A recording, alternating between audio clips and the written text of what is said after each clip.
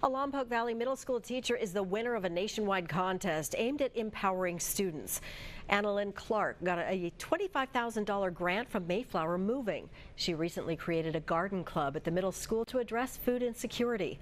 Clark plans to create gardening kits now to send home with her students and then I'm going to do online videos, like online tutorials online of how to grow things and when to plant and how often. And I'm going to do it as like a Google Classroom, um, a Google Classroom for, specifically for the garden club. So then all the kids can join and I'm going to hold it after school hours.